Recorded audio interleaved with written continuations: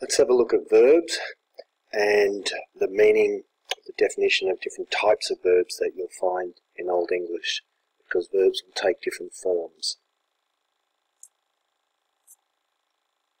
So there's a definition of a verb in the Cambridge Dictionary.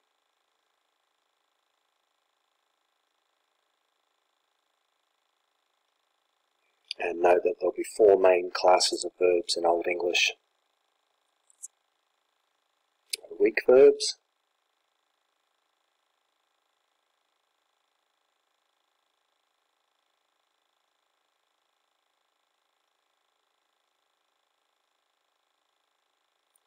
strong verbs,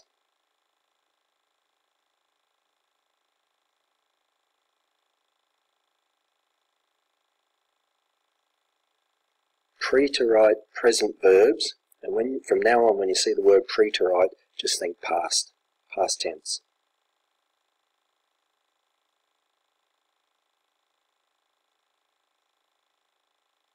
Irregular verbs.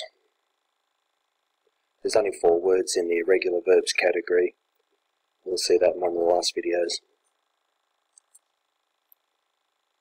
Alright, well let's have a look at the different types now. We have the infinitive, which is a basic form of the word given in dictionaries.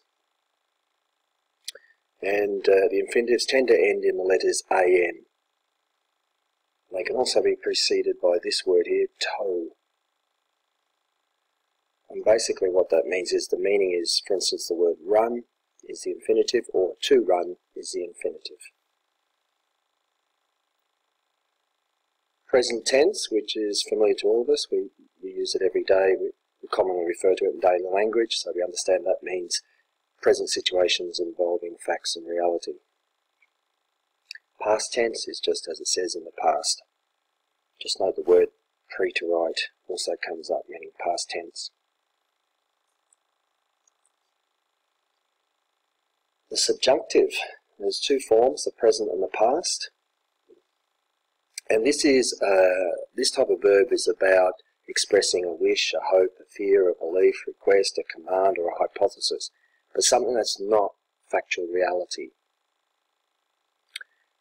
It's not much used in modern language, but it was commonly used in the Old English period.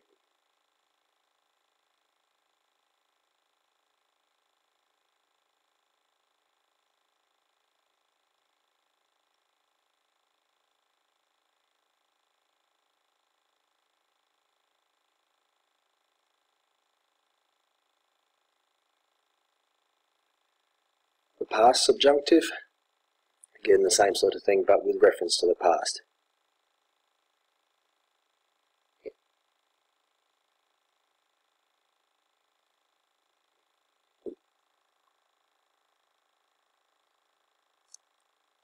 The imperative, again commonly used today, just means used when giving commands, e.g. run, the imperative, run.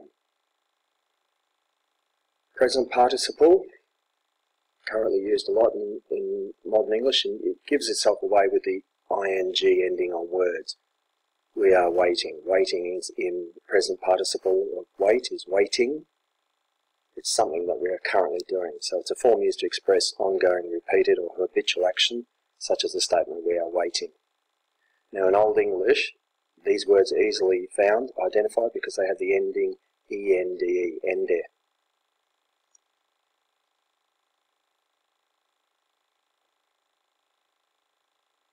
Also have the past participle. You often see that has this yay prefix, yay.